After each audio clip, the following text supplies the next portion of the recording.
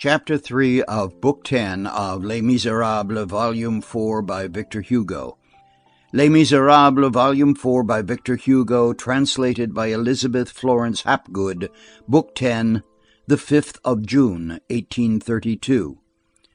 Chapter 3 A Burial, an occasion to be born again.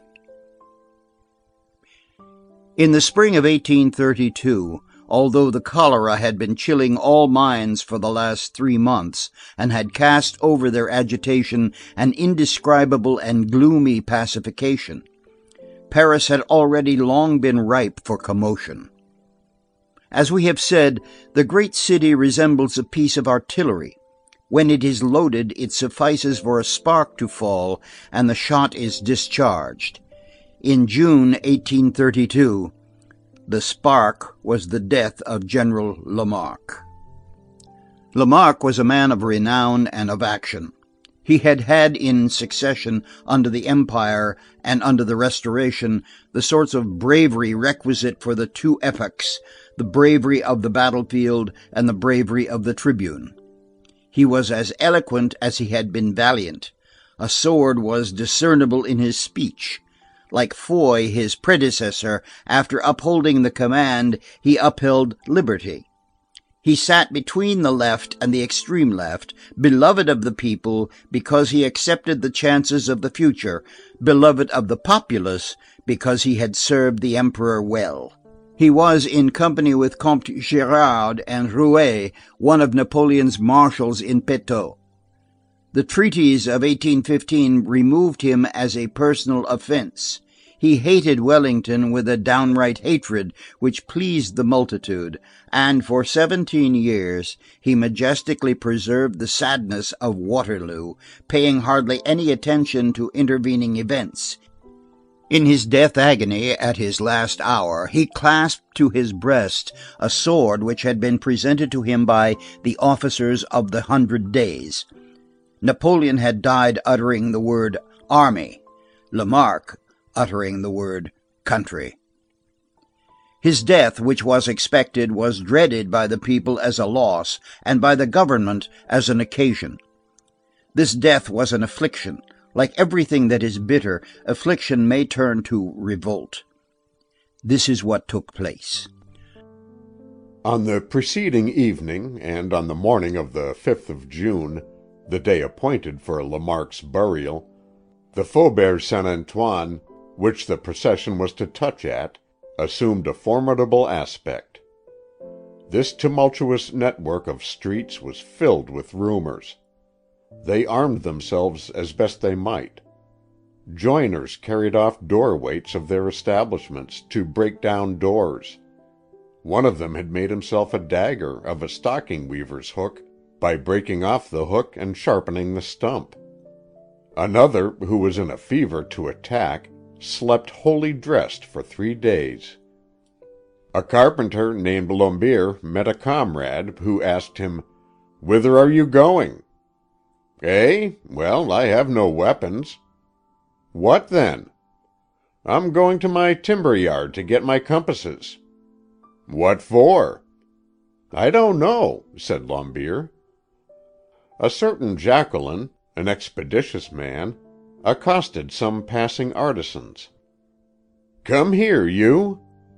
He treated them to ten sous' worth of wine, and said, Have you work? No. Go to Filspierre, between the Barrière Charonne and the Barrière Montreuil, and you will find work. At Filspierre's they found cartridges and arms. Certain well known leaders were going the rounds, that is to say, running from one house to another to collect their men. At Barthélemy's near the Barrière du Trône, at Capel's near the Petit Chapeau, the drinkers accosted each other with a grave air. They were heard to say: "Have you your pistol?" "Under my blouse." "And you?" "Under my shirt." In the Rue Traversière, in front of the Bland workshop, and in the yard of the Maison Brulée, in front of toolmakers Bernière's, groups whispered together. Among them was observed a certain Mavot, who never remained more than a week in one shop, as the masters always discharged him, because they were obliged to dispute with him every day. Mavot was killed the following day, at the barricade of the Rue Ménilmontant. Pretot, who was destined to perish also in the struggle, and to the question, "What is your object?" he replied, "Insurrection." Workmen assembled at the corner of the Rue de Bercy waited for a certain Lamarine, the revolutionary agent for the Faubourg Saint Marceau. Watchwords were exchanged almost publicly. On the fifth of June, accordingly, a day of mingled rain and sun, General Lamarque's funeral procession traversed Paris with official military pomp, somewhat augmented through precaution. Two battalions with draped drums and reversed arms, ten thousand National Guards with their swords at their sides, escorted the coffin. The hearse was drawn by young men. The officers of the Invalides came immediately behind it, bearing laurel branches.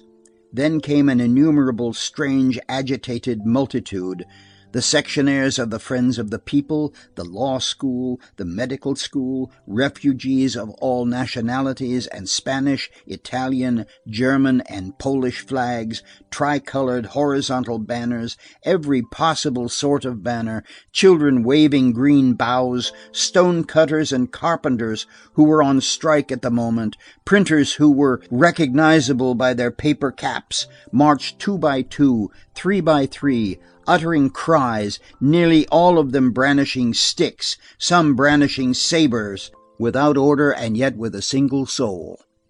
Now a tumultuous rout, again a column. Squads chose themselves leaders.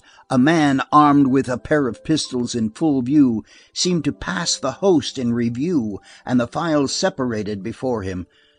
On the side alleys of the boulevards, in the branches of the trees, on balconies, in windows, on the roofs swarmed the heads of men, women and children; all eyes were filled with anxiety. An armed throng was passing, and a terrified throng looked on. The government on its side was taking observations. It observed with its hand on its sword. Four squadrons of carabineers could be seen at the Place Louis Quinze, in their saddles, with their trumpets at their head, cartridge boxes filled, and muskets loaded, all in readiness to march. In the Latin country and in the Jardin des Plantes, the municipal guard echeloned from street to street. At the Halles aux Vins, a squadron of dragoons; at the Grève, half of the 12th Light Infantry, the other half being at the Bastille; the Sixth Dragoons at the Célestins, and the courtyard of the Louvre full of artillery. The remainder of the troops were confined to their barracks, without reckoning the regiments of the environs of Paris. Power being uneasy, held suspended over the menacing multitude twenty four thousand soldiers in the city and thirty thousand in the banlieue. Divers reports were in circulation in the cortège. Legitimist tricks were hinted at; they spoke of the Duc de Reichstadt, whom God had marked out for death at that very moment when the populace were designating him for the Empire. One personage, whose name has remained unknown, announced that at a given hour two overseers, who had been won over, would throw open the doors of a factory of arms to the people. That which predominated on the uncovered brows of the majority of those present was enthusiasm mingled with dejection. Here and there also, in that multitude given over to such violent but noble emotions, there were visible genuine visages of criminals and ignoble mouths which said: "Let us plunder." There are certain agitations which stir up the bottoms of marshes, and make clouds of mud rise through the water, a phenomenon to which well drilled policemen are no strangers. The procession proceeded with feverish slowness from the house of the deceased by way of the boulevards as far as the Bastille. It rained from time to time. The rain mattered nothing to that throng. Many incidents: the coffin borne round the Vendôme column; stones thrown at the Duc de Fitz James, who was seen on a balcony with his hat on his head; the Gallic cock torn from a popular flag and dragged in the mire a policeman wounded with a blow from a sword at the Porte Saint Martin, an officer of the 12th Light Infantry saying aloud: "I am a Republican!" the Polytechnic School coming up unexpectedly against orders to remain at home, the shouts of "Long live the Polytechnique! Long live the Republic!" marked the passage of the funeral train. At the Bastille, long lines of curious and formidable people who descended from the Faubourg Saint Antoine effected a junction with the procession, and a certain terrible seething began to agitate the throng. One man was heard to say to another: "Do you see that fellow with the red beard? He's the one who will give the word when we are to fire." It appears that this red beard was present at another riot, the Quénisset affair, entrusted with this same function. The hearse passed the Bastille, traversed the small bridge, and reached the esplanade of the bridge of Austerlitz. There it halted. The crowd, surveyed at that moment with a bird's eye view, would have presented the aspect of a comet whose head was on the esplanade and whose tail spread out over the Quai Bourdon, covered the Bastille, and was prolonged on the boulevard as far as the Porte Saint Martin. A circle was traced around the hearse. The vast rout held its peace. Lafayette spoke and bade Lamarque farewell. This was a touching and august instant, all heads uncovered, all hearts beat high. All at once, a man on horseback, clad in black, made his appearance in the middle of the group with a red flag, others say with a pike surmounted with a red liberty cap. Lafayette turned his head. Excelmans quitted the procession. This red flag raised a storm and disappeared in the midst of it. From the Boulevard Bourdon to the bridge of Austerlitz, one of those clamors which resemble billows stirred the multitude. Two prodigious shouts went up: "Lamarque to the Panthéon! Lafayette to the town hall!" Some young men, amid the declamations of the throng, harnessed themselves and began to drag Lamarque in the hearse across the bridge of Austerlitz, and Lafayette in a hackneyed coach along the Quai Morland. In the crowd which surrounded and cheered Lafayette, it was noticed that a German showed himself named Ludwig Snyder, who died a centenarian afterwards, who had also been in the war of 1776 and who had fought at Trenton under Washington and at Brandywine under Lafayette. In the meantime, the municipal cavalry on the left bank had been set in motion and came to bar the bridge. On the right bank, the dragoons emerged from the Célestins and deployed along the Quai Morland. The men who were dragging Lafayette suddenly caught sight of them at the corner of the quay and shouted: "The dragoons!" The dragoons advanced at a walk, in silence, with their pistols in their holsters, their swords in their scabbards, their guns slung in their leather sockets, with an air of gloomy expectation. They halted two hundred paces from the little bridge. The carriage in which sat Lafayette advanced to them, their ranks opened and allowed it to pass, and then closed behind it. At that moment, the dragoons and the crowd touched. The women fled in terror.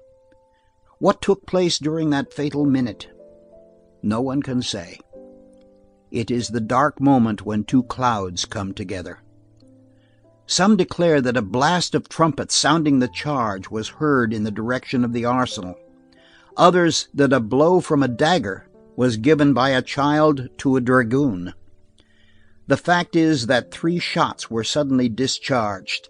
The first killed Cholet, chief of the squadron; the second killed an old deaf woman who was in the act of closing her window; the third singed the shoulder of an officer.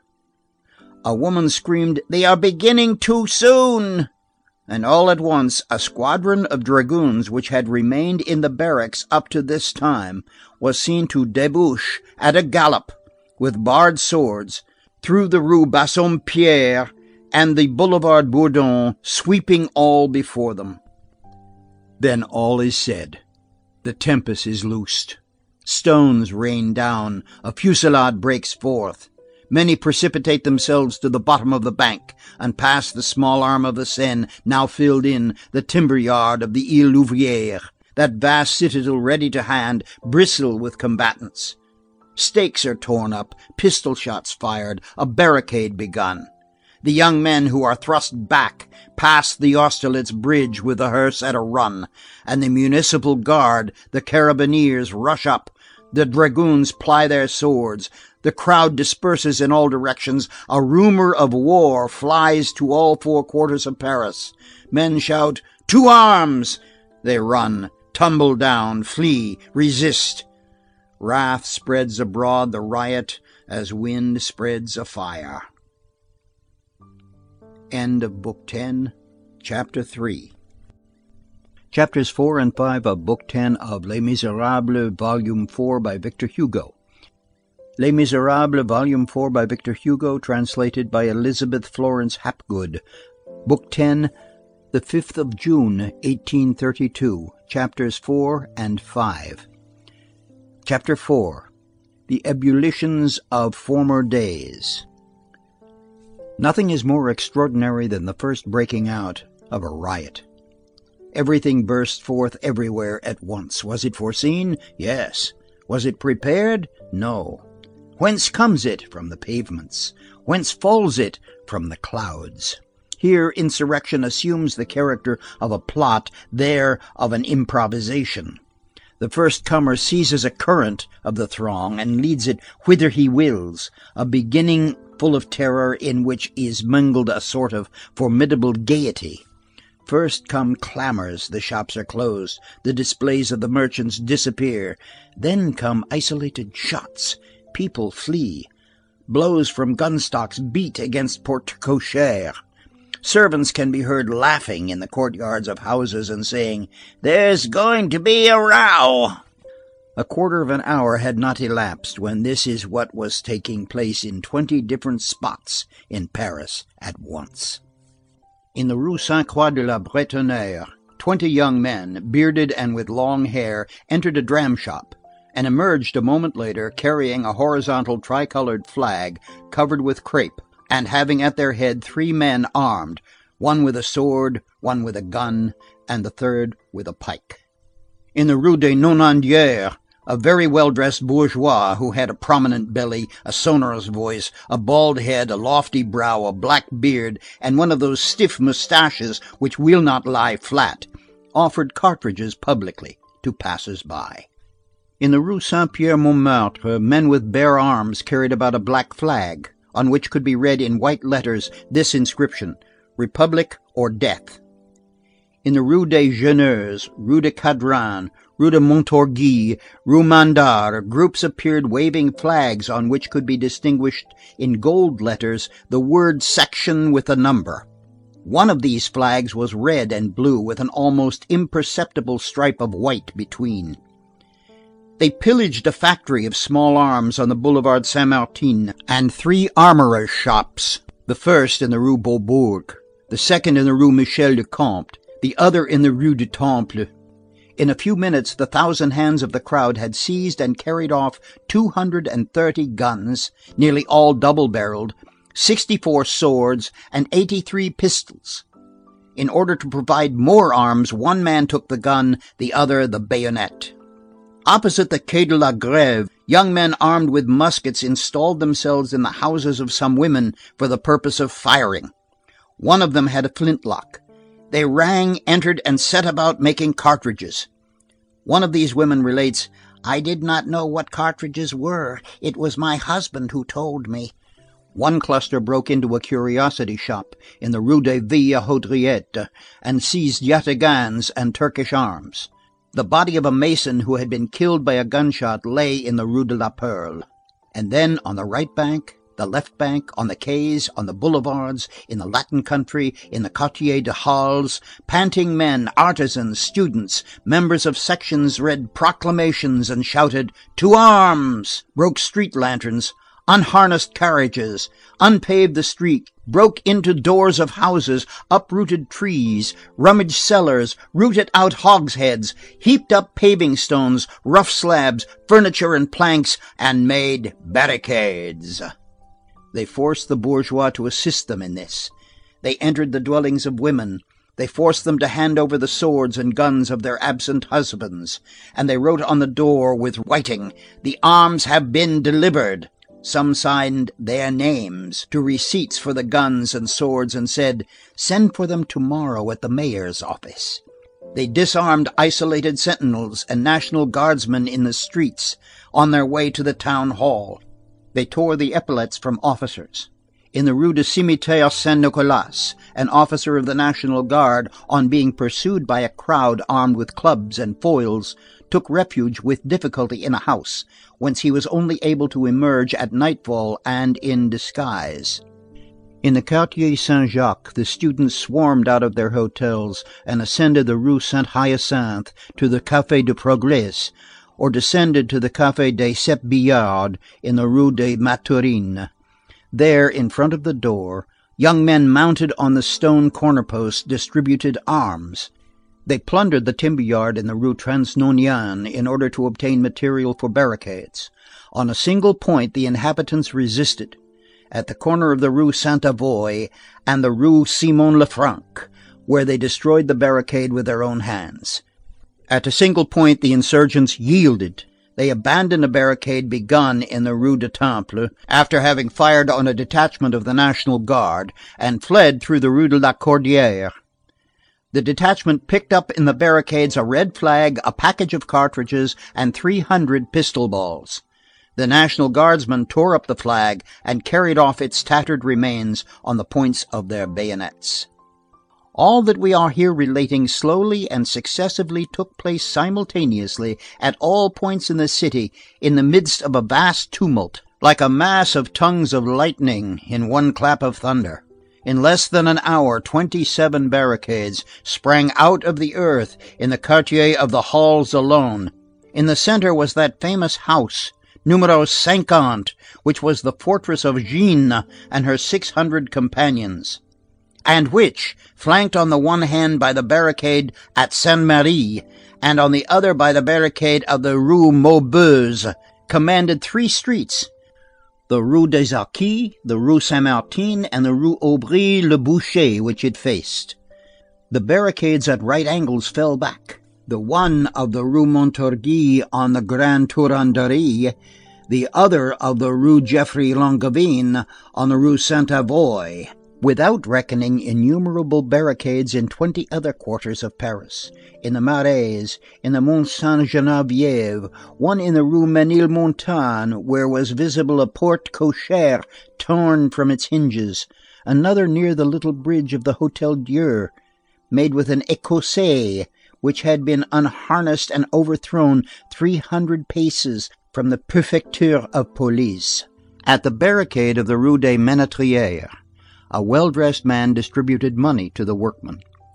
At the barricade of the Rue Grenetat, a horseman made his appearance and handed to the one who seemed to be the commander of the barricade what had the appearance of a roll of silver. "Here," said he, "this is to pay expenses, wine, etc." A light haired young man without a cravat went from barricade to barricade carrying passwords. Another, with a naked sword, a blue police cap on his head, placed sentinels. In the interior, beyond the barricades, the wine shops and porters' lodges were converted into guard houses. Otherwise, the riot was conducted after the most scientific military tactics. The narrow, uneven, sinuous streets, full of angles and turns, were admirably chosen the neighborhood of the Halles in particular, a network of streets more intricate than a forest. The Society of the Friends of the People had, it was said, undertaken to direct the insurrection in the Quartier Sainte Avoye. A man killed in the Rue de Ponceau, who was searched, had on his person a plan of Paris. That which had really undertaken the direction of the uprising was a sort of strange impetuosity which was in the air the insurrection had abruptly built barricades with one hand and with the other seized nearly all the posts of the garrison. In less than three hours, like a train of powder catching fire, the insurgents had invaded and occupied, on the right bank, the arsenal, the mayoralty of the Place Royale, the whole of the Marais, the Popincourt Arms Manufactory, La Galiote, the Château d'Eau, and all the streets near the halls. On the left bank, the barracks of the veterans, Sainte Pelagie, the Place Maubert, the powder magazine of the Deux Moulins, and all the barriers. At five o'clock in the evening they were masters of the Bastille, of the Lingerie, of the Blancs Manteaux.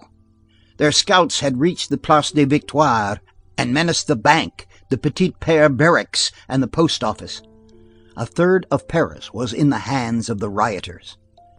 The conflict had been begun on a gigantic scale at all points, and, as a result of the disarming domiciliary visits and the armorers' shops hastily invaded, was that the combat which had begun with the throwing of stones was continued with gunshots. About six o'clock in the evening, the Passage du Saumon became the field of battle. The uprising was at one end, the troops were at the other. They fired from one gate to the other. An observer, a dreamer, the author of this book, who had gone to get a near view of this volcano, found himself in the passage between the two fires.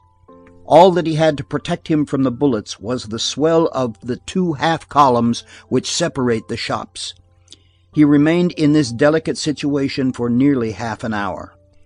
Meanwhile, the call to arms was beaten.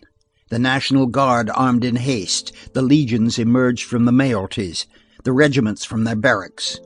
Opposite the Passage de l'Ancre, a drummer received a blow from a dagger. Another, in the Rue de Cygne, was assailed by thirty young men who broke his instrument and took away his sword.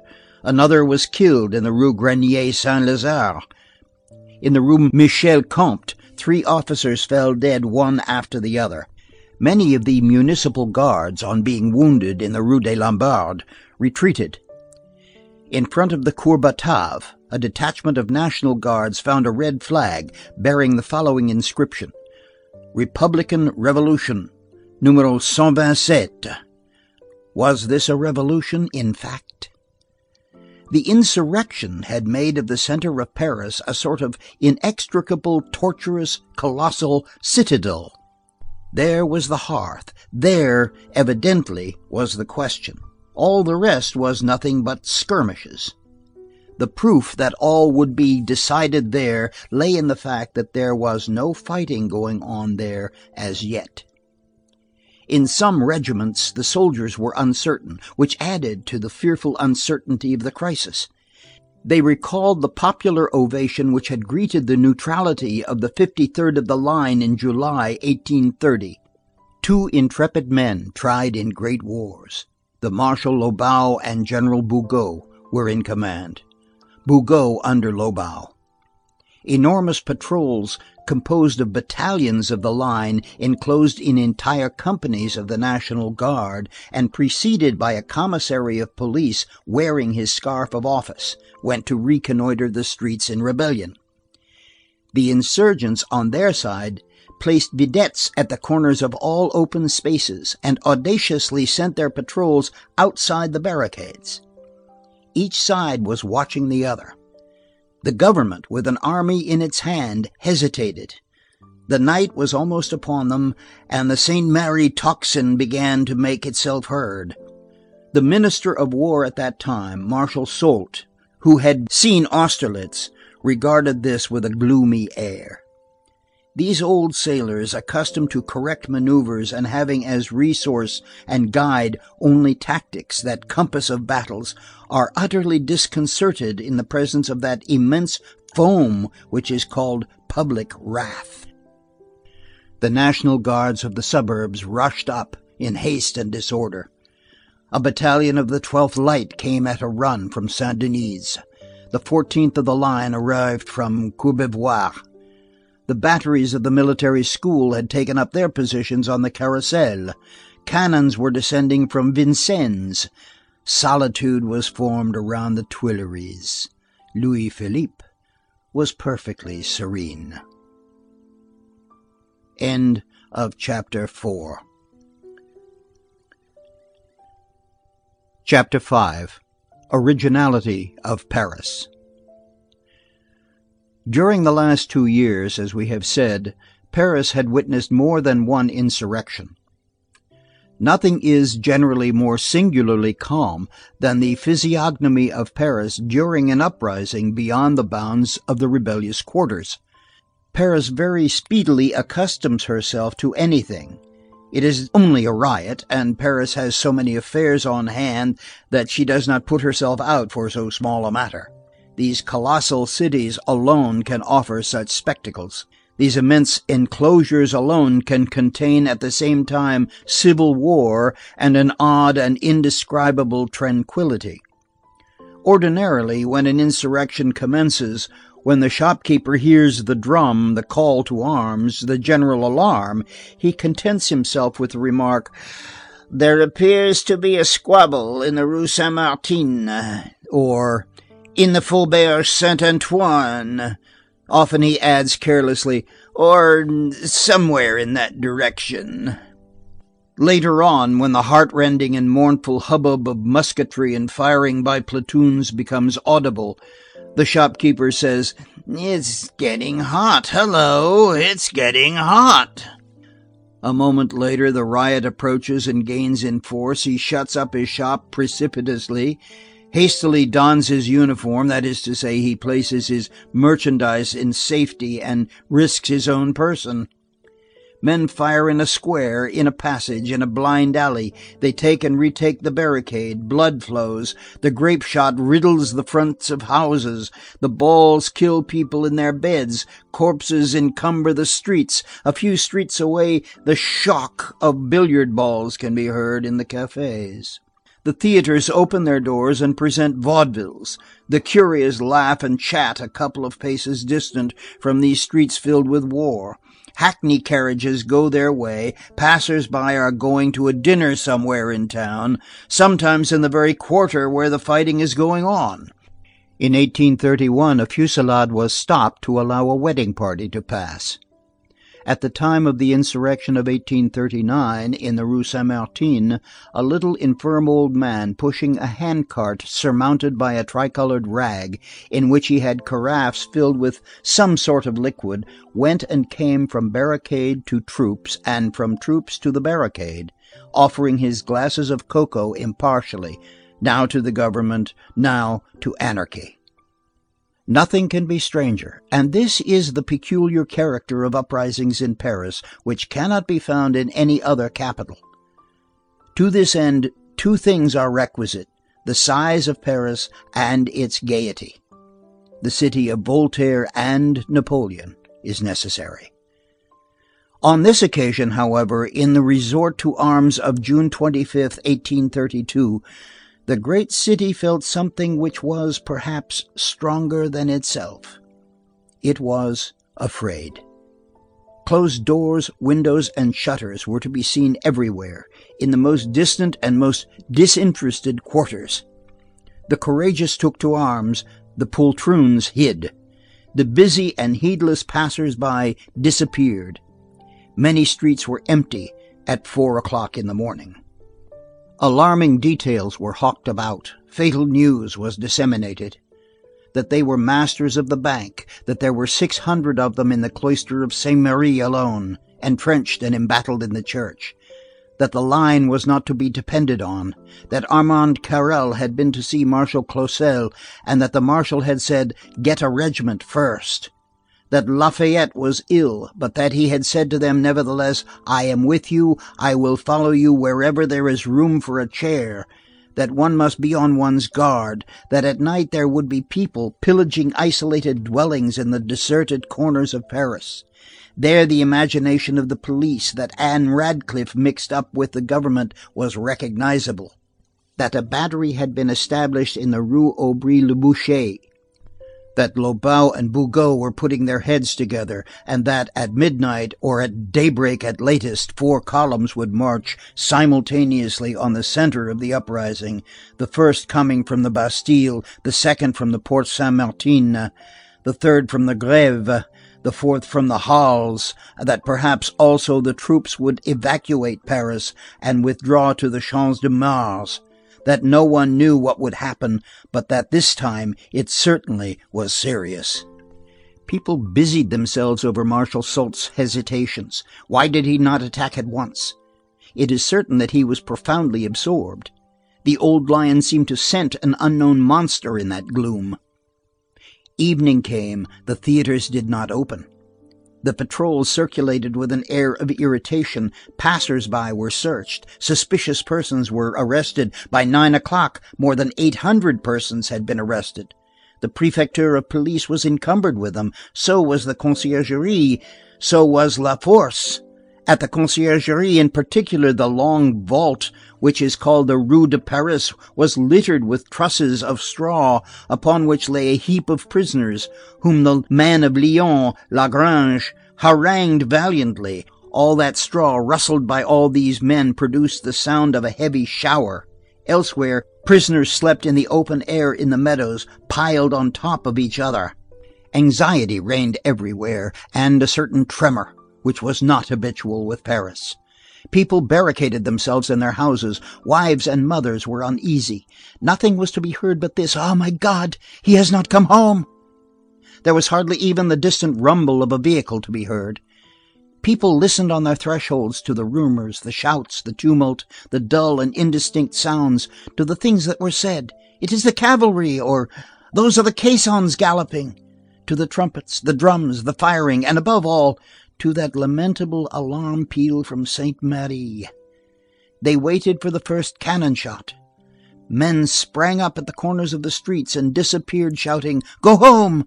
and people made haste to bolt their doors. They said: "How will all this end?" From moment to moment, in proportion as the darkness descended, Paris seemed to take on a more mournful hue from the formidable flaming of the revolt. End of Book 10, Chapters 4 and 5. Chapters 1 and 2 of Book 11 of Les Miserables, Volume 4, by Victor Hugo. Les Miserables, Volume 4, by Victor Hugo. Translated by Isabel Florence Hapgood. Book 11 The Atom Fraternizes with the Hurricane. Chapter 1 Some explanations with regard to the origin of Gavroche's poetry. The influence of an academician on this poetry. At the instant when the insurrection, arising from the shock of the populace and the military in front of the Arsenal, started a movement in advance and towards the rear in the multitude which was following the hearse, and which, through the whole length of the boulevards, weighed, so to speak, on the head of the procession, there arose a frightful ebb. The rout was shaken, their ranks were broken. All ran, fled, made their escape, some with shouts of attack, others with the pallor of flight. The great river which covered the boulevards divided in a twinkling, overflowed to right and left, and spread in torrents over two hundred streets at once with the roar of a sewer that has broken loose. At that moment, a ragged child who was coming down through the Rue Ménilmontant, holding in his hand a branch of blossoming laburnum, which he had just plucked out of the heights of the Belleville, caught sight of an old holster pistol in the show window of a bric-à-brac merchant's shop. "Mother What's your name, I'm going to borrow your machine." And off he ran with the pistol. Two minutes later, a flood of frightened bourgeois who were fleeing through the Rue Amelot and the Rue Basse, encountered the lad brandishing his pistol and singing: "La nuit on ne voit rien, le jour on voit très bien. D'un écrit apocrypha les bourgeois s'ébouriffent, pratiqués avec du tutu chapeau pointu." It was little Gavroche on his way to the wars. On the boulevard, he noticed that the pistol had no trigger. Who was the author of that couplet which served to punctuate his march, and of all the other songs which he was fond of singing on occasion? We know not. Who does know? Himself, perhaps. However, Gavroche was well up in all the popular tunes in circulation, and he mingled them with his own chirpings. An observing urchin and a rogue, he made a potpourri of the voices of nature and the voices of Paris. He combined the repertory of the birds with the repertory of the workshops. He was acquainted with thieves, a tribe contiguous to his own. He had, it appears, been for three months apprenticed to a printer. he had one day executed a commission for Monsieur Baour Lormian, one of the Forty. Gavroche was a gamin of letters. Moreover, Gavroche had no suspicion of the fact that when he had offered the hospitality of his elephant to two brats on that villainously rainy night, it was to his own brothers that he had played the part of Providence. His brothers in the evening, his father in the morning, that is what his night had been like. On quitting the Rue des Ballets at daybreak, he had returned in haste to the elephant, had artistically extracted from it the two brats, had shared with them some sort of breakfast which he had invented, and had then gone away, confiding them to that good mother, the street, who had brought him up almost entirely. On leaving them, he had appointed to meet them at the same spot in the evening, and had left them this discourse by way of a farewell: "I break a cane. Otherwise expressed, I cut my stick, or as they say at the court, I file off. If you don't find papa and mamma, young 'uns, come back here this evening. I'll scramble you up some supper and I'll give you a shakedown."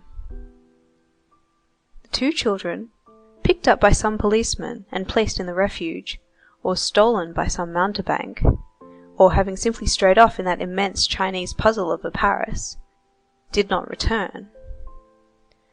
The lowest depths of the actual social world are full of these lost traces. Gavroche did not see them again. Ten or twelve weeks had elapsed since that night. More than once he had scratched the back of his head and said: "Where the devil are my two children?" In the meantime, he had arrived, pistol in hand, in the Rue du Pont aux Choux. He noticed that there was but one shop open in that street, and, a matter of worthy reflection, that it was a pastry cook's shop. This presented a providential occasion to eat another apple turnover before entering the unknown.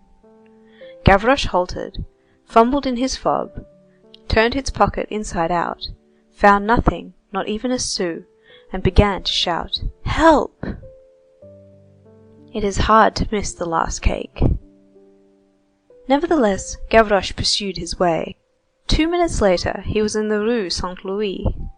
While traversing the Rue du Parc Royal, he felt called upon to make good the loss of the apple turnover which had been impossible, and he indulged himself in the immense delight of tearing down the theatre posters in broad daylight. A little further on, on catching sight of a group of comfortable looking persons, who seemed to be landed proprietors, he shrugged his shoulders, and spit out at random before him this mouthful of philosophical bile as they passed: "How fat those moneyed men are! They're drunk. They just wallow in good dinners. Ask 'em what they do with their money. They don't know. They eat it, that's what they do, as much as their bellies will hold."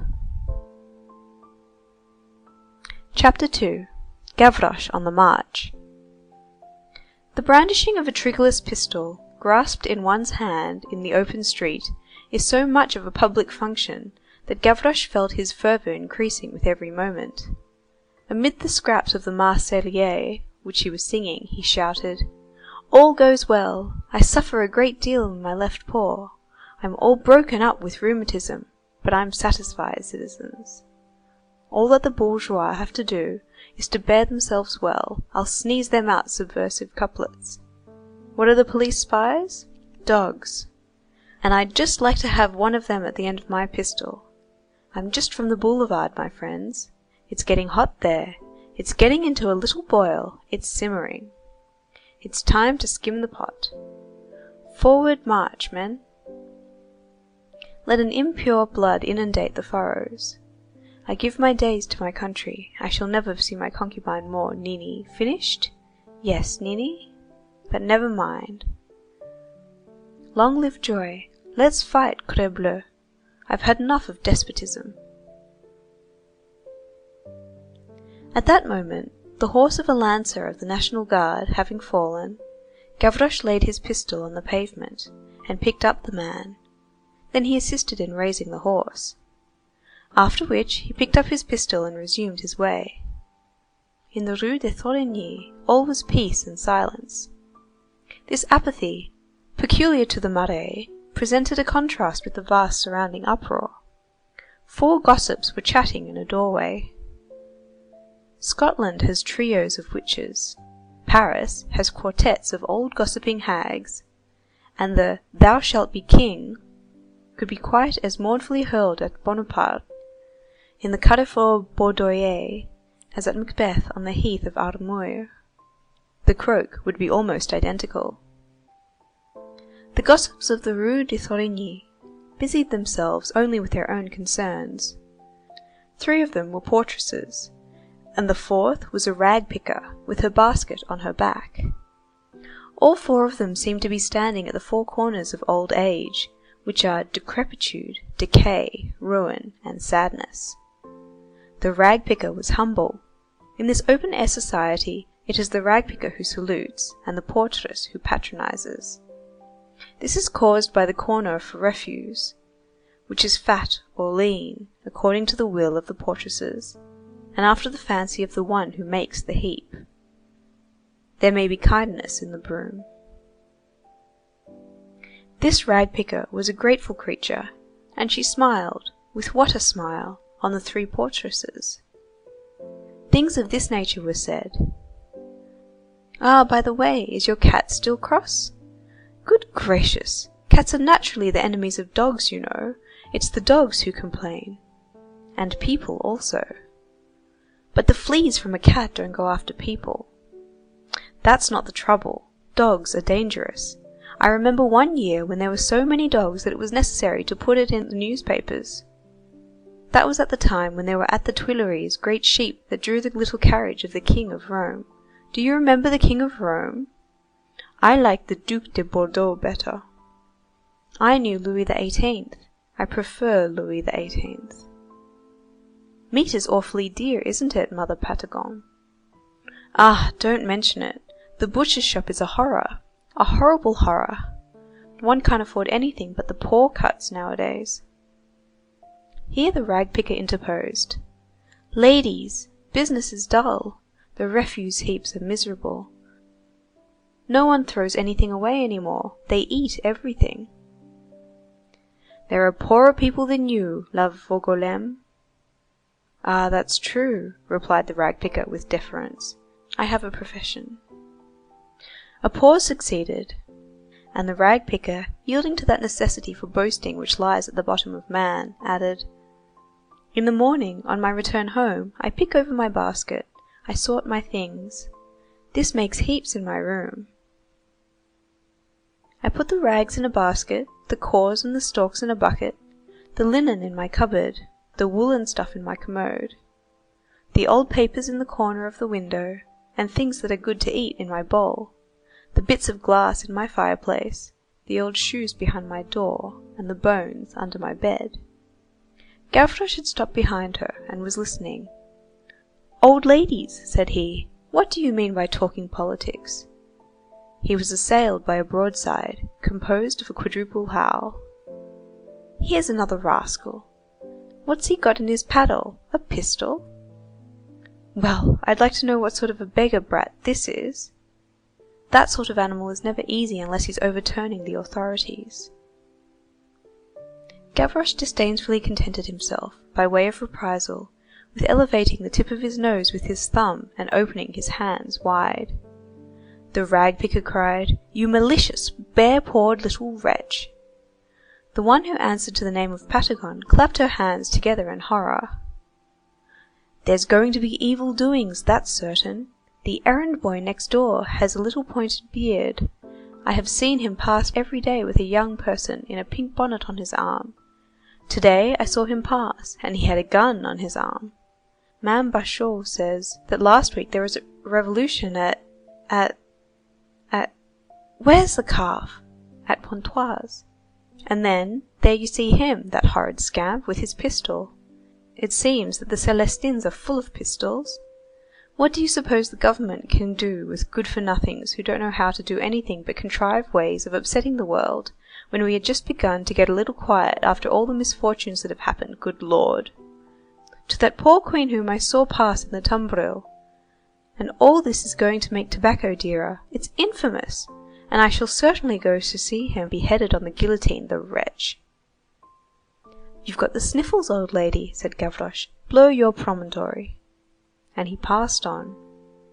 When he was in the Rue Pavée, the rag picker occurred to his mind, and he indulged in this soliloquy:— "You're in the wrong to insult the revolutionists, Mother Dust heap Corner. This pistol is in your interests. It's so that you may have more good things to eat in your basket." All at once, he heard a shout behind him. It was the portress Patagon who had followed him, and who was shaking her fist at him in the distance and crying:— "You're nothing but a bastard!" "Oh! come now," said Gavroche, "I don't care a brass farthing for that." Shortly afterwards, he passed the Hôtel Lamoignon.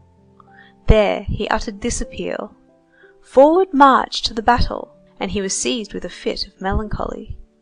He gazed at his pistol with an air of reproach, which seemed to attempt to appease it. "I'm going off," said he, "but you won't go off." One dog may distract the attention from another dog. A very gaunt poodle came along at the moment. Gavroche felt compassion for him.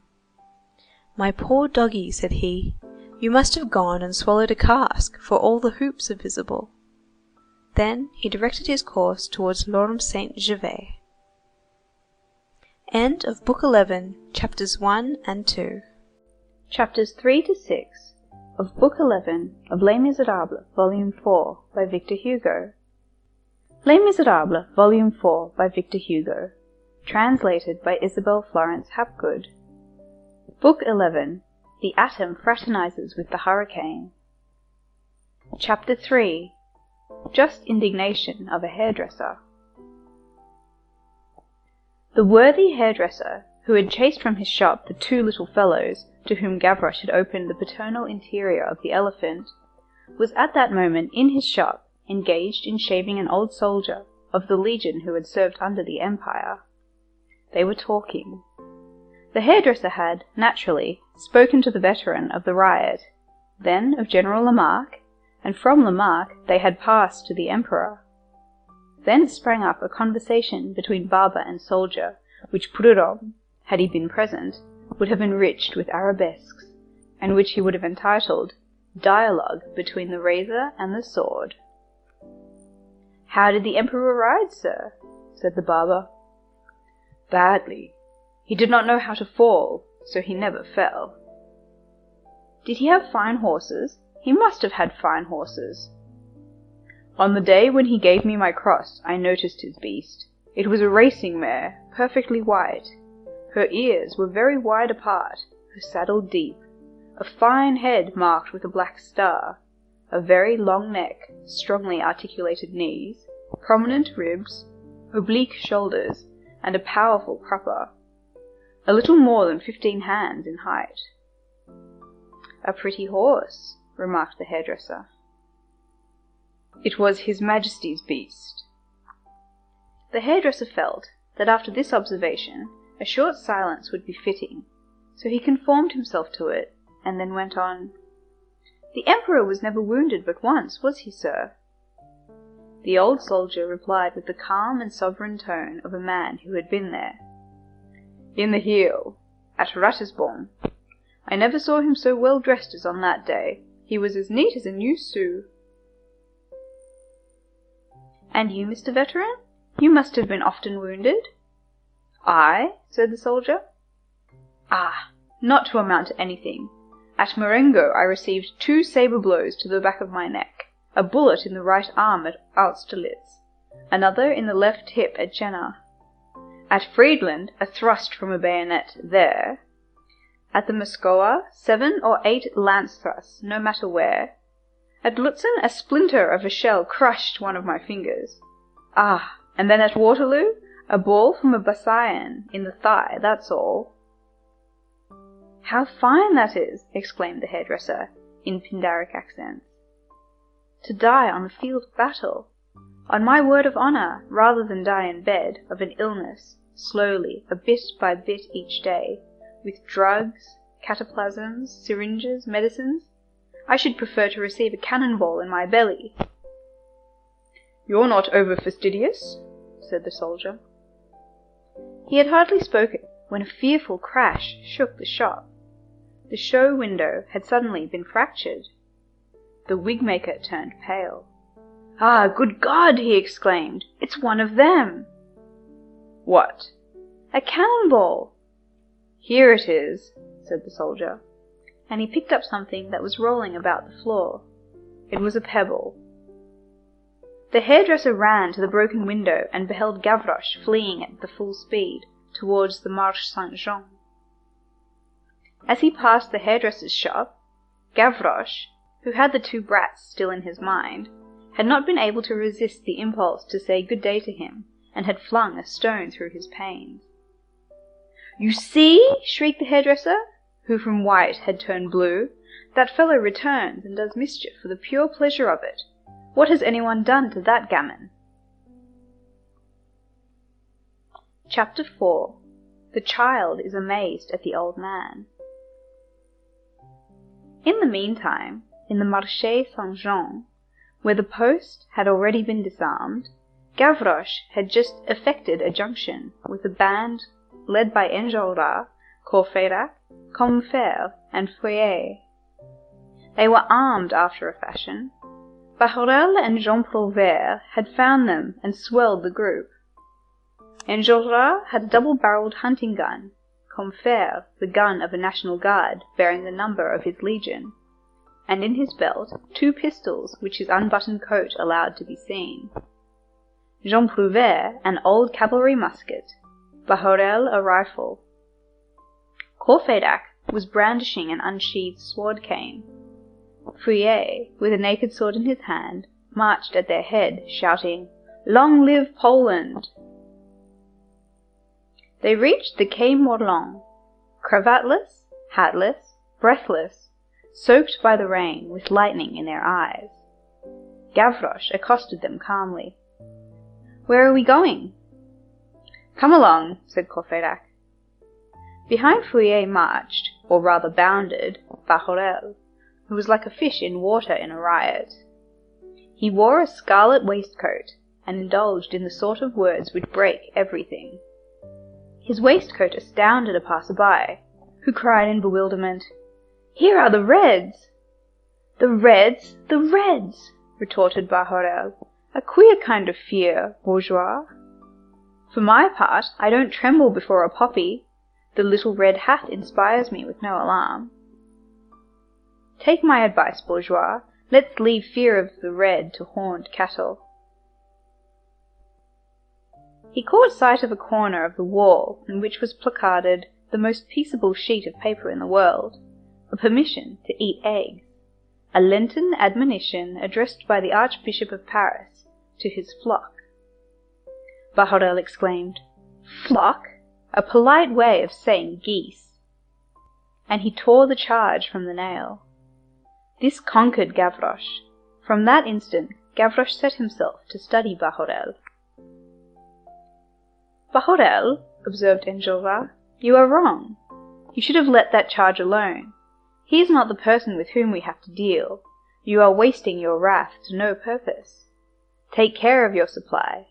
One does not fire out of the ranks with the soul any more than with a gun. Each one in his own fashion, Enjolras, retorted Bahorel. This bishop's prose shocks me. I want to eat eggs without being permitted. Your style is the hot and cold. I am amusing myself. Besides, I'm not wasting myself. I'm getting a start. And if I tore down that charge, Hercle, 'twas only to whet my appetite. This word, Hercle, struck Gavroche. He sought out all occasions for learning, and that tearer down of posters possessed his esteem. He inquired of him, What does Hercle mean? Bahorel answered, It means cursed name of a dog, in Latin. Here Bahorel recognized at a window a pale young man with a black beard who was watching them as they passed, probably a friend of the ABC. He shouted to him, Quick! Cartridges, parabellum! A fine man, that's true, said Gavroche, who now understood Latin. A tumultuous retinue accompanied them, students, artists, young men affiliated to the Cougourde Ouvrier, artisans, longshoremen, armed with clubs and bayonets, some, like Combeferre, with pistols thrust into their trousers. An old man, who appeared to be extremely aged, was walking in the band.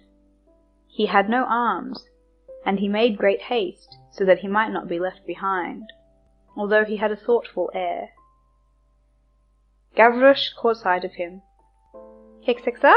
Said he to Courfeyrac. "He's an old duffer." It was Monsieur Mabeuf. Chapter 5 The Old Man Let us recount what has taken place. Enjolras and his friends had been on the Boulevard Bourdon, near the public storehouses, at the moment when the dragoons had made their charge. Enjolras, Courfeyrac, and Combeferre were among those who had taken to the Rue Bassompierre, shouting, "To the barricades!" In the Rue Lesdiguieres they had met an old man walking along. What had attracted their attention was that the good man was walking in a zigzag, as though he were intoxicated. Moreover, he had his hat in his hand, although it had been raining all the morning, and was raining pretty briskly at the very time. Courfeyrac had recognized Father Mabeuf. He knew him through having many times accompanied Marius as far as his door. As he was acquainted with the peaceful and more than timid habits of the old beadle book collector, and was amazed at the sight of him in the midst of that uproar, a couple of paces from the cavalry charges, almost in the midst of a fusillade. Hatless in the rain, and strolling about among the bullets, he had accosted him, and the following dialogue had been exchanged between the rioter of fire and the octogenarian. Monsieur Mabeuf, go to your home.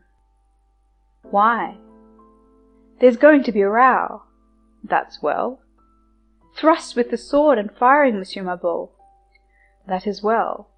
Firing from cannon. That is good. Where are the rest of you going?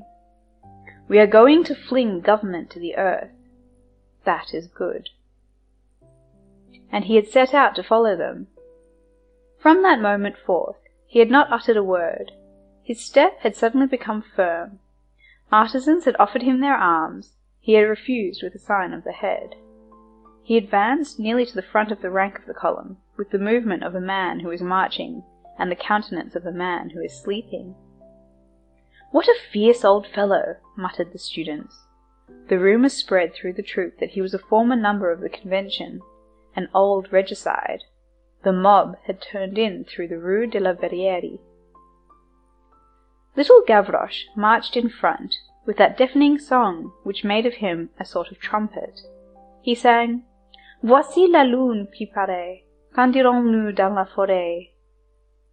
Demandez Charlot à Charlotte, tout, tout, tout, pour château, je n'ai qu'un deux, qu'une roue, qu'un liard, et qu'une botte.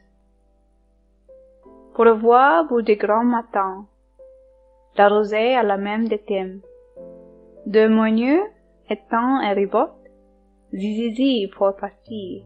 Je n'ai qu'un Dieu, qu'une roi, qu'un liard et qu'une botte. Et ces deux pauvres petits loups, comme deux grives étincelantes, un tigre envoyé dans sa grotte. Don, don, don pour madame. Je n'ai qu'un Dieu, qu'une roi, qu'un liard et qu'une botte. L'un juré et l'autre sacré. Quand dirons-nous dans la forêt? Demandez Charlotte à Charlotte. Tin, tin, tin pour Patine. Je n'ai qu'un deux, qu'un roue, qu'un liard et qu'une botte. They directed their course towards Sainte Marie. Chapter 6 Recruits The band augmented every moment. Near the Rue des Billettes, a man of lofty stature, whose hair was turning grey, and whose bold and daring mien was remarked by Courfeyrac, Enjolras, and Combeferre, but whom none of them knew, joined them.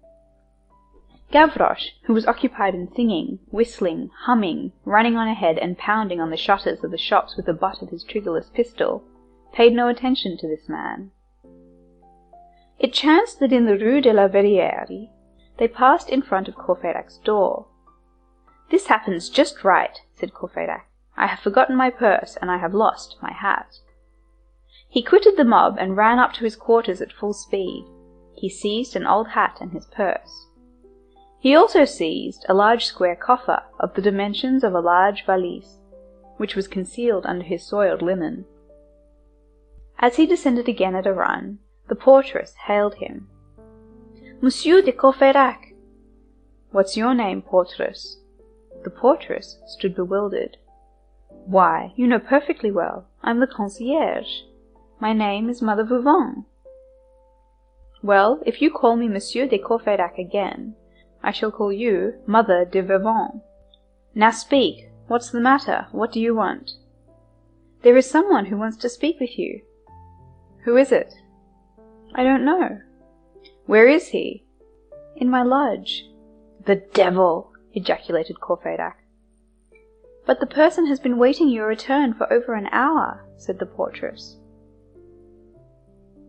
At the same time, a sort of pale, thin, small, freckled, and youthful artisan, clad in a tattered blouse and patched trousers of ribbed velvet, and who had rather the air of a girl accoutred as a man than of a man, emerged from the lodge and said to Courfeyrac in a voice which was not the least in the world like a woman's voice, Monsieur Marius, if you please.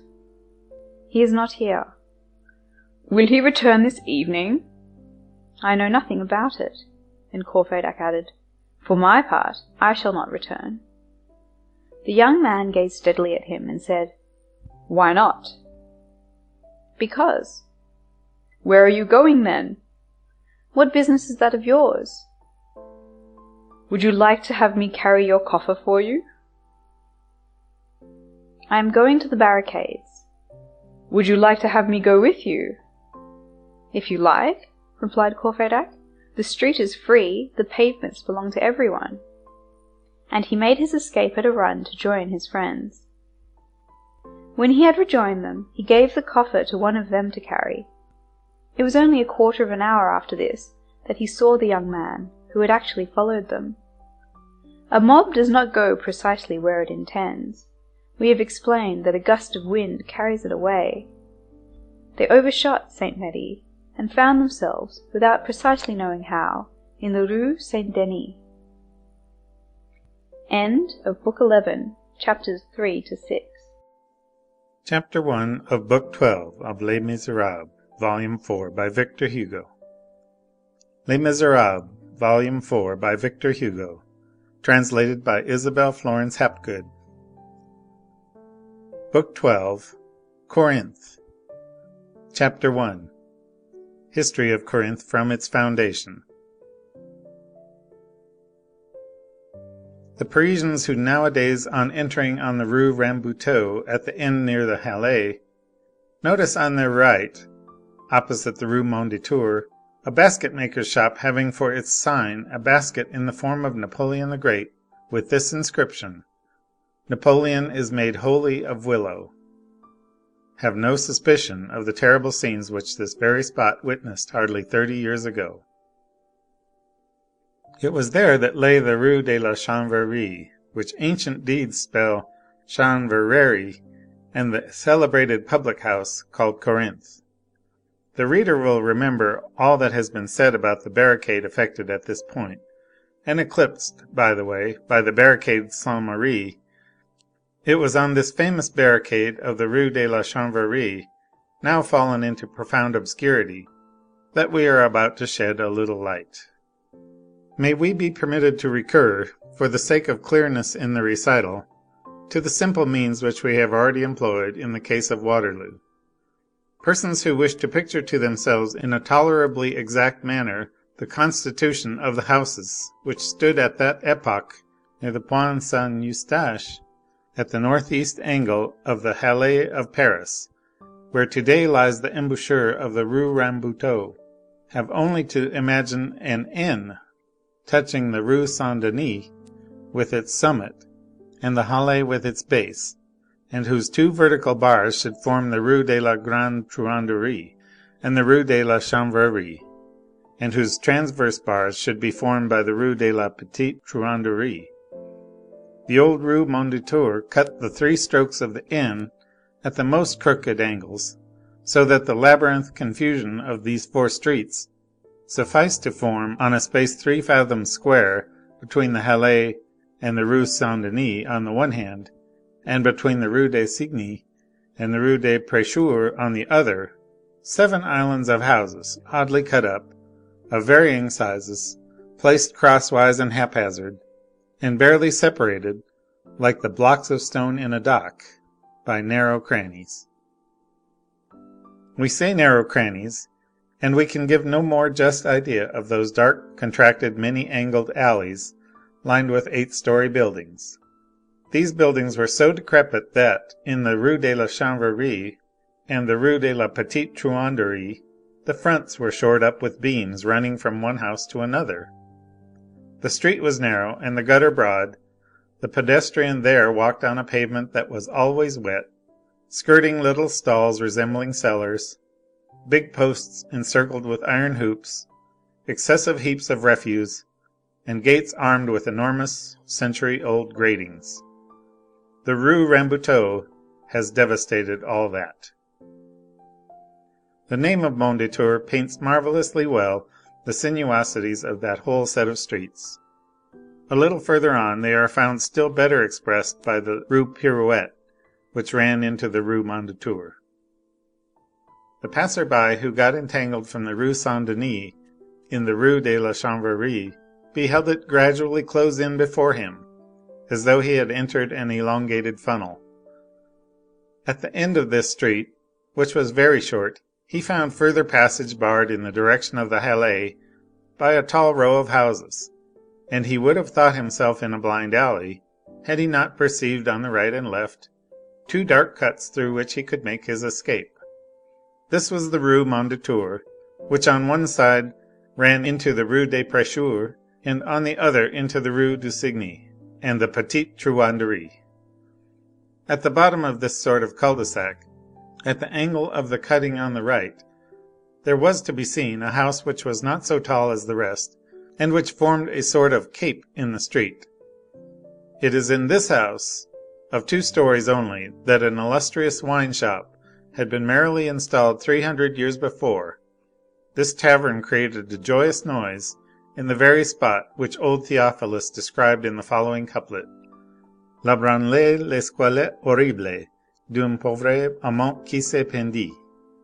There swings the horrible skeleton of a poor lover who hung himself. The situation was good, and tavern keepers succeeded each other there from father to son. In the time of Mathurin Regnier this cabaret was called the Pot aux Roses, and as the rebus was then in fashion, it had for its signboard a post (Poteau) painted rose color.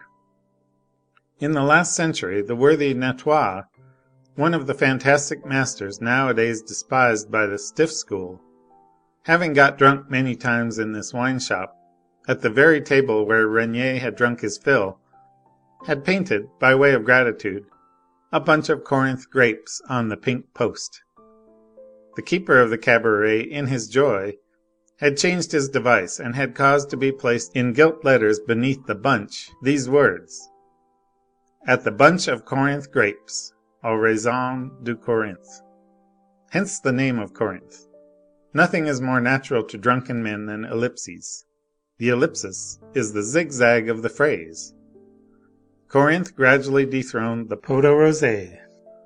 The last proprietor of the dynasty, Father Hucheloup, no longer acquainted even with the tradition, had the post painted blue. A room on the ground floor, where the bar was situated, one on the first floor containing a billiard table, a wooden spiral staircase piercing the ceiling, wine on the tables, smoke on the walls, candles in broad daylight this was the style of this cabaret. A staircase with a trap door in the lower room led to the cellar. On the second floor were the lodgings of the Hucheloup family. They were reached by a staircase which was a ladder rather than a staircase, and had for their entrance only a private door in a large room on the first floor. Under the roof, in two mansard attics, were the nests for the servants. The kitchen shared the ground floor with the tap room.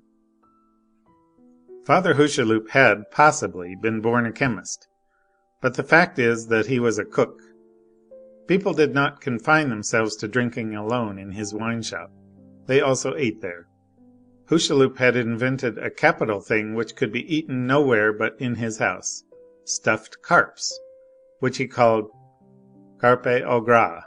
These were eaten by the light of the tallow candle or of a lamp of the time of Louis XVI on tables to which were nailed waxed cloths in lieu of tablecloths. People came thither from a distance. Hucheloup, one fine morning, had seen fit to notify passers by of this speciality. He had dipped a brush in a pot of black paint, and as he was an orthographer on his own account, as well as a cook after his own fashion, he had improvised on his wall this remarkable inscription: Carpes au gras. One winter the rainstorms and the showers had taken a fancy to obliterate the s which terminated the first word, and the g which began the third. This is what remained: Carpe ho ras. Time and rain assisting, a humble gastronomical announcement had become a profound piece of advice. In this way it came about that though he knew no French, Father Hucheloup understood Latin that he had evoked philosophy from his kitchen, and that, desirous simply of effacing Lent, he had equalled Horace. And the striking thing about it was, that that also meant "Enter my wine shop." Nothing of all this is in existence now. The Mondétour labyrinth was disembowelled and widely opened in 1847, and probably no longer exists at the present moment. The Rue de la Chanvrerie and Corinthe have disappeared beneath the pavement of the Rue Rambuteau. As we have already said, Corinthe was the meeting place, if not the rallying point, of Courfeyrac and his friends. It was Grantaire who had discovered Corinthe. He had entered it on account of the Carpe horas, and had returned thither on account of the Carpes au gras. There they drank, there they ate, there they shouted. They did not pay much, they paid badly, they did not pay at all, but they were always welcome. Father Hucheloup was a jovial host. Hucheloup, that amiable man, as was just said, was a wine shop keeper with a moustache an amusing variety. He always had an ill tempered air, seemed to wish to intimidate his customers, grumbled at the people who entered his establishment and had rather the mien of seeking a quarrel with them than of serving them with soup. And yet, we insist upon the word, people were always welcome there. This oddity had attracted customers to his shop, and brought him young men, who said to each other: "Come hear, Father Hucheloup growl." And he had been a fencing master. All of a sudden he would burst out laughing, a big voice, a good fellow.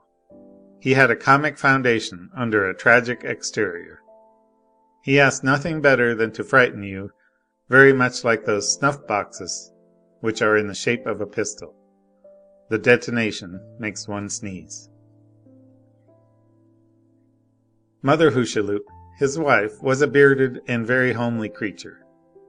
About 1830, Father Hucheloup died. With him disappeared the secret of stuffed carps. His inconsolable widow continued to keep the wine shop, but the cooking deteriorated and became execrable. The wine, which had always been bad, became fearfully bad. Nevertheless, Courfeyrac and his friends continued to go to Corinthe, out of pity, as Bossuet said. The widow Hucheloup was breathless and misshapen and given to rustic recollections. She deprived them of their flatness by her pronunciation. She had a way of her own of saying things, which spiced her reminiscences of the village and of her springtime. It had formerly been her delight, so she affirmed, to hear the loup de gorget chanter dans les ogrepines, to hear the redbreasts sing in the hawthorn trees. The hall on the first floor, where the restaurant was situated, was a large and long apartment, encumbered with stools, chairs, benches, and tables, and with a crippled, lame, old billiard table. It was reached by a spiral staircase, which terminated in the corner of the room at a square hole like the hatchway of a ship. This room, lighted by a single narrow window, and by a lamp that was always burning, had the air of a garret. All the four footed furniture comported itself as though it had but three legs. The whitewashed walls had for their only ornament the following quatrain in honor of Mame Hucheloup: Elle étonnait à dix pas, elle épouvantait à deux. Une verrue habite en son nez hasardeux, on tremblait à chaque instant qu'elle ne vous la moucher, et qu'un beau jour son nez n'est tombé dans sa bouche. She astounds at ten paces, she frightens at two, a wart inhabits her hazardous nose. You tremble every instant lest she should blow it at you, and lest, some fine day, her nose should tumble into her mouth. This was scrawled in charcoal on the wall. Mame Hucheloup, a good likeness, went and came from morning till night before this quatrain with the most perfect tranquillity. Two serving maids, named Matelote and Gibelotte, who had never been known by any other names, helped Mame Hucheloup to set on the tables the jugs of poor wine and the various broths which were served to the hungry patrons in earthenware bowls. Matelote, large and plump, red haired and noisy, the favorite ex sultana of the defunct Hucheloup, was homelier than any mythological monster, be it what it may. Still, as it becomes the servant to always keep in the rear of the mistress, she was less homely than Mame Hucheloup. Gibelotte, tall, delicate, white, with a lymphatic pallor, with circles round her eyes and drooping lids, always languid and weary, afflicted with what may be called chronic lassitude, the first up in the house and the last in bed, waited on every one, even the other maid, silently and gently, smiling through her fatigue with a vague and sleepy smile. Before entering the restaurant room, the visitor read on the door the following line written there in chalk by Courfeyrac: "Regale si tu peux, et mange si tu l'oses."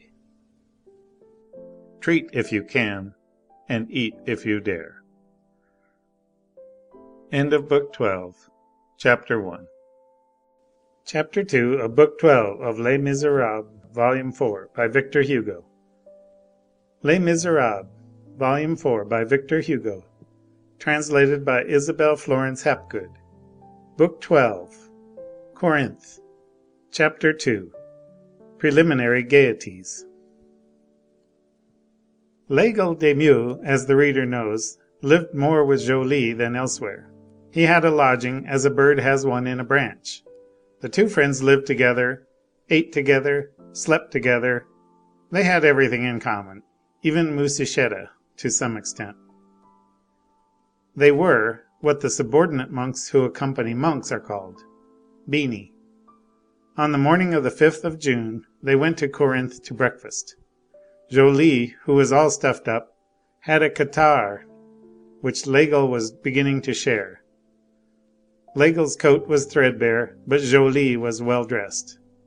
It was about nine o'clock in the morning when they opened the door of Corinthe. They ascended to the first floor. Matelote and Gibelotte received them. "Oysters, cheese, and ham," said Laigle. And they seated themselves at a table. The wine shop was empty. There was no one there but themselves. Gibelotte, knowing Joly and Laigle, set a bottle of wine on the table. While they were busy with their first oysters, a head appeared at the hatchway of the staircase, and a voice said:— "I am passing by. I smell from the street a delicious odor of Brie cheese. I enter." It was Grantaire. Grantaire took a stool and drew up to the table. At the sight of Grantaire, Gibelotte placed two bottles of wine on the table. That made three. "Are you going to drink those two bottles?" Laigle inquired of Grantaire. Grantaire replied:— "All are ingenious; thou alone art ingenious. Two bottles never yet astonished a man." The others had begun by eating. Grantaire began by drinking. Half a bottle was rapidly gulped down. "So you have a hole in your stomach," began Laigle again. "You have one in your elbow," said Grantaire. And after having emptied his glass, he added:— "Ah, by the way, Laigle of the funeral oration, your coat is old." "I should hope so," retorted Laigle. "That's why we get on well together, my coat and I. It has acquired all my folds. It does not bind me anywhere. It is moulded on my deformities. It falls in with all my movements. I am only conscious of it because it keeps me warm. Old coats are just like old friends." "That's true!" ejaculated Joly, striking into the dialogue. "An old goat is an old habit." "Especially in the mouth of a man whose head is stuffed up," said Grantaire. "Grantaire," demanded Laigle, "have you just come from the boulevard?" "No. We have just seen the head of the procession pass, Joly and I." "It's a marvellous sight," said Joly. "How quiet this street is!" exclaimed Laigle. "Who would suspect that Paris was turned upside down? How plainly it is to be seen that in former days there were nothing but convents here, in this neighborhood. Du Breul and Sauval gave a list of them, and so does the Abbé Lebeuf. They were all round here. They fairly swarmed, booted and barefooted, shaven, bearded, grey, black, white, Franciscans, Minims, Capuchins, Carmelites, little Augustines, great Augustines, old Augustines. There was no end of them. "Don't let's talk of monks," interrupted Grantaire. "It makes one want to scratch one's self." Then he exclaimed:— "Boo! I've just swallowed a bad oyster. Now hypochondria is taking possession of me again. The oysters are spoiled, the servants are ugly. I hate the human race. I just passed through the Rue Richelieu in front of the big public library. That pile of oyster shells which is called a library is disgusting even to think of. What paper! What ink! What scrawling! And all that has been written! What rascal was it who said that man was a featherless biped? And then I met a pretty girl of my acquaintance, who is as beautiful as the spring, worthy to be called Floréal, and who is delighted, enraptured, as happy as the angels, because a wretch yesterday, a frightful banker all spotted with smallpox, deigned to take a fancy to her. Alas! woman keeps on the watch for a protector as much as for a lover. Cats chase mice as well as birds. Two months ago that young woman was virtuous in an attic. She adjusted little brass rings in the eyelet holes of corsets. What do you call it? She sewed. She had a camp bed. She dwelt beside a pot of flowers. She was contented. Now here she is, a bankeress. This transformation took place last night. I met the victim this morning in high spirits. The hideous point about it is, that the jade is as pretty to day as she was yesterday. Her financier did not show in her face. Roses have this advantage or disadvantage over women, that the traces left upon them by caterpillars are visible. Ah! there is no morality on earth. I call to witness the myrtle, the symbol of love; the laurel, the symbol of air; the olive that ninny, the symbol of peace; the apple tree, which came nearest wrangling Adam with its pips; and the fig tree, the grandfather of petticoats. As for right, do you know what right is? The Gauls covet Clusium, Rome protects Clusium, and demands what wrong Clusium has done to them. Brennus answers: the wrong that Alba did to you, the wrong that Fidenæ did to you, the wrong that the Eques, the Volsci, and the Sabines have done to you. They were your neighbours. The Clusians are ours. We understand neighbourliness, just as you do. You have stolen Alba. We shall take Clusium. Rome said: You shall not take Clusium. Brennus took Rome. Then he cried: Væ victis! That is what right is. Ah! what beasts of prey there are in this world! What eagles! It makes my flesh creep. He held out his glass to Joly, who filled it; then he drank and went on, having hardly been interrupted by this glass of wine, of which no one, not even himself, had taken any notice. Brennus who takes Rome is an eagle. The banker who takes the grisette is an eagle. There is no more modesty in the one case than in the other. So we believe in nothing. There is but one reality. Drink! Whatever your opinion may be in favor of the lean cock, like the Canton of Uri, or in favor of the fat cock, like the Canton of Glarus, it matters little. Drink! You talk to me of the boulevard, of that procession, etc., etc. Come now! Is there going to be another revolution? This poverty of means on the part of the good God astounds me. He has to keep greasing the groove of events every moment. There is a hitch. It won't work. Quick! A revolution! The good God has his hands perpetually black with that cart grease. If I were in his place, I'd be perfectly simple about it. I would not wind up my mechanism every minute. I'd lead the human race in a straightforward way. I'd weave matters mesh by mesh without breaking the thread. I would have no provisional arrangements. I would have no extraordinary repertory. What the rest of you call progress advances by means of two motors men and events. But, sad to say, from time to time the exceptional becomes necessary. The ordinary troop suffices neither for event nor for men. Among men geniuses are required, among events revolutions. Great accidents are the law. The order of things cannot do without them. And, judging from the apparition of comets, one would be tempted to think that heaven itself finds actors needed for its performance. At the moment when one expects it the least, God placards a meteor on the wall of the firmament. Some queer star turns up, underlined by an enormous tail and that causes the death of Caesar. Brutus deals him a blow with a knife, and God a blow with a comet. Crac! Behold an aurora borealis! Behold a revolution! Behold a great man! Ninety three in big letters. Napoleon en garde. The comet of 1811 at the head of the poster. Ah, what a beautiful blue theatre, all studded with unexpected flashes. Boom! Boom! Extraordinary show! Raise your eyes, boobies. Everything is in disorder, the star as well as the drama. Good God! it is too much and not enough. These resources, gathered from exception, seem magnificence and poverty. My friends, Providence has come down to expedients. What does a revolution prove?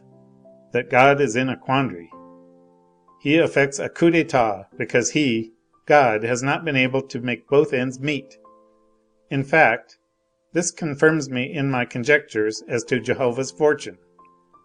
And when I see so much distress in heaven and on earth, from the bird who has not a grain of millet to myself without a hundred thousand livres of income, when I see human destiny, which is very badly worn, and even royal destiny, which is threadbare, witness the Prince de Conde hung, when I see winter, which is nothing but a rent in the zenith through which the wind blows, when I see so many rags even in the perfectly new purple of the morning on the crests of the hills, when I see the drops of dew, those mock pearls, when I see the frost, that paste, when I see humanity ripped apart and events patched up, and so many spots on the sun, and so many holes in the moon, when I see so much misery everywhere, I suspect that God is not rich. The appearance exists, it is true, but I feel that he is hard up. He gives a revolution as a tradesman whose money box is empty gives a ball. God must not be judged from appearances. Beneath the gilding of heaven I perceive a poverty stricken universe. Creation is bankrupt. That is why I am discontented. Here it is the 4th of June. It is almost night. Ever since this morning I have been waiting for daylight to come. It has not come, and I bet that it won't come all day. This is the inexactness of an ill paid clerk. Yes, everything is badly arranged. Nothing fits anything else. This old world is all warped. I take my stand on the opposition everything goes awry. The universe is a tease. It's like children. Those who want them have none and those who don't want them have them. Total, I'm vexed. Besides, Laigle de Meaux, that bald head offends my sight. It humiliates me to think that I am of the same age as that Baldy. However, I criticise, but I do not insult. The universe is what it is. I speak here without evil intent, and to ease my conscience. Receive, Eternal Father, the assurance of my distinguished consideration. Ah, by all the saints of Olympus, and by all the gods of Paradise, I was not intended to be a Parisian. That is to say, to rebound forever, like a shuttlecock between two battledores, from the group of the loungers to the group of the roisterers. I was made to be a Turk, watching Oriental houris all day, executing those exquisite Egyptian dances, as sensuous as the dream of a chaste man, or a Beauceron peasant, or a Venetian gentleman surrounded by gentlewomen, or a petty German prince, furnishing the half of a foot soldier to the Germanic Confederation, and occupying his leisure with drying his breeches on his hedge, that is to say, his frontier. Those are the positions for which I was born. Yes, I have said a Turk, and I will not retract. I do not understand how people can habitually take Turks in bad part. Mohammed had his good points, respect for the inventor of seraglios, with houris and paradises, with odalisques. Let us not insult Mohammedanism, the only religion which is ornamented with a hen roost. Now, I insist on a drink. The earth is a great piece of stupidity, and it appears that they are going to fight, all those imbeciles, and to break each other's profiles, and to massacre each other in the heart of summer, in the month of June, when they might go off with a creature on their arm to breathe the immense heaps of new mown hay in the meadows. Really, people do commit altogether too many follies. An old broken lantern, which I have just seen at a bric a brac merchant's, suggests a reflection to my mind. It is time to enlighten the human race. Yes, behold me sad again. That's what comes of swallowing an oyster and a revolution the wrong way. I am growing melancholy once more. Oh, frightful old world! People strive, turn each other out, prostitute themselves, kill each other, and get used to it. And Grantaire, after this fit of eloquence, had a fit of coughing, which was well earned. "A propos of revolution," said Joly, "it is decidedly aberrant that Marius is in love." "Does any one know with whom?" demanded Laigle. "Do." "No?" "Do, I tell you." "Marius' love affairs!" exclaimed Grantaire. "I can imagine it. Marius is a fog, and he must have found a vapor. Marius is of the race of poets. He who says poet, says fool, madman, Tymbraeus Apollo. Marius and his Marie, or his Marion, or his Maria, or his Mariette, they must make a queer pair of lovers. I know just what it is like ecstasies in which they forget to kiss. Pure on earth, but joined in heaven, they are souls possessed of senses. They lie among the stars. Grantaire was attacking his second bottle, and possibly his second harangue, when a new personage emerged from the square aperture of the stairs. It was a boy less than ten years of age, ragged, very small, yellow, with an odd phiz, a vivacious eye, an enormous amount of hair, drenched with rain and wearing a contented air. The child unhesitatingly making his choice among the three, addressed himself to Laigle de Meaux. "Are you Monsieur Bossuet?" "That is my nickname," replied Laigle. "What do you want with me?" "This. A tall blond fellow on the boulevard said to me: 'Do you know Mother Hucheloup?' I said, "Yes, Rue Chanvrerie.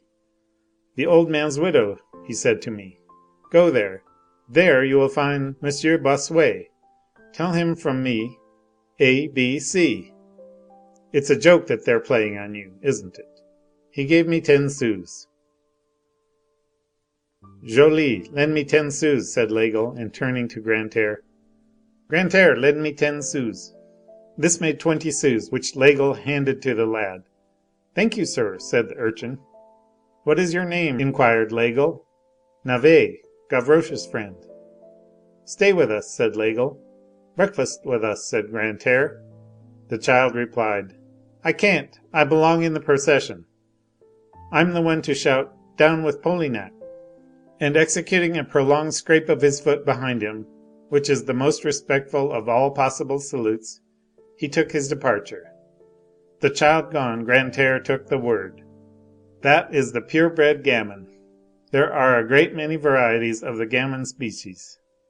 The notary's gamin is called 'Skip the gutter;' the cook's gamin is called a scullion; the baker's gamin is called a mitron; the lackey's gamin is called a groom; the marine gamin is called the cabin boy; the soldier's gamin is called the drummer boy; the painter's gamin is called paint grinder; the tradesman's gamin is called an errand boy; the courtesan gamin is called the minion; the kingly gamin is called the dauphin; the god gamin is called the bambino."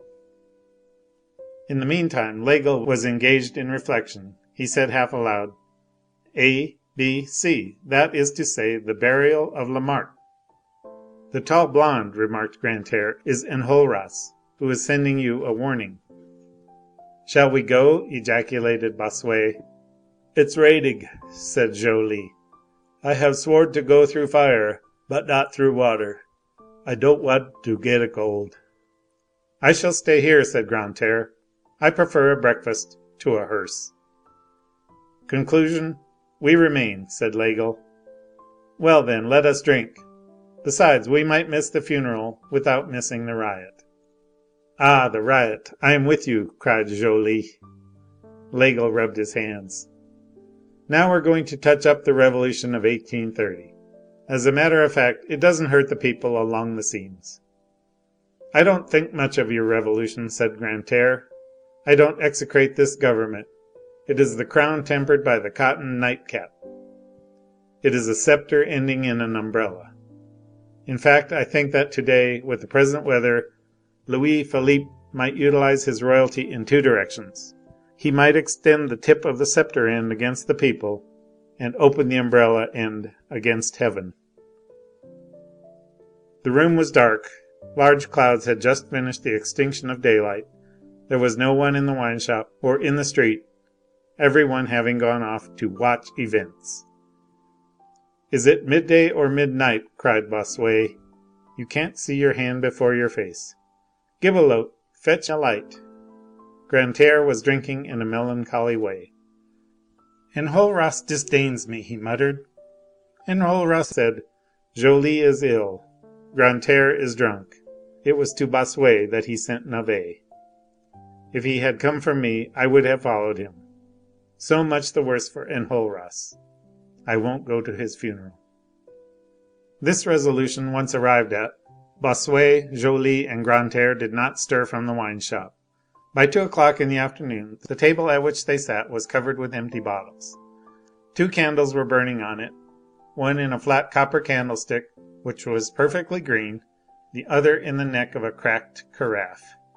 Grantaire had seduced Joly and Bossuet to wine. Bossuet and Joly had conducted Grantaire back towards cheerfulness. As for Grantaire, he had got beyond wine, that merely moderate inspirer of dreams, ever since midday. Wine enjoys only a conventional popularity with serious drinkers. There is, in fact, in the matter of inebriety, white magic and black magic. Wine is only white magic. Grantaire was a daring drinker of dreams. The blackness of a terrible fit of drunkenness, yawning before him, far from arresting him, attracted him. He had abandoned the bottle and taken to the beer glass. The beer glass is the abyss. Having neither opium nor hashish on hand, and being desirous of filling his brain with twilight, he had had recourse to that fearful mixture of brandy, stout, absinthe, which produces the most terrible of lethargies. It is of these three vapours, beer, brandy, and absinthe, that the lead of the soul is composed. They are three grooms, the celestial butterfly is drowned in them, and they are formed there in a membranous smoke vaguely condensed into the wing of the bat, three mute furies, nightmare, night, and death, which hover about the slumbering psyche. Grantaire had not yet reached that lamentable phase. Far from it. He was tremendously gay, and Bossuet and Joly retorted. They clinked glasses. Grantaire added to the eccentric accentuation of words and ideas a peculiarity of gesture. He rested his left fist on his knee with dignity, his arm forming a right angle, and, with cravat untied, seated astride a stool, his full glass in his right hand, he hurled solemn words at the big maid servant "Let the doors of the palace be thrown open. Let every one be a member of the French Academy, and have the right to embrace Madame Hucheloup. Let us drink."